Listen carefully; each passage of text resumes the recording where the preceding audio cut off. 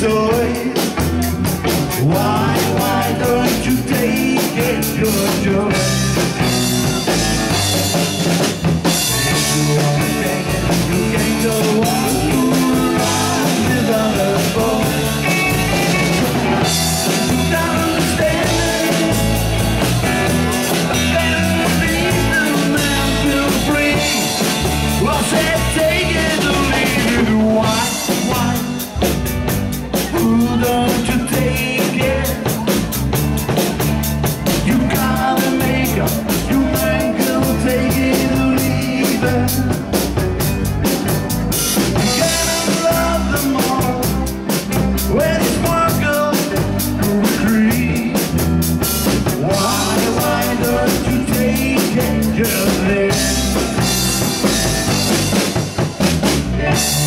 Day